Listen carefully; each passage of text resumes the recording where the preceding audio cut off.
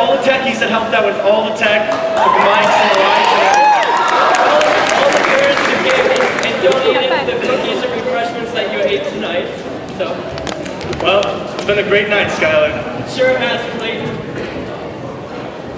There was some lows, some highs, some friendly competition. There were some lows, felonies, and I actually kind of enjoyed Mamma Mia.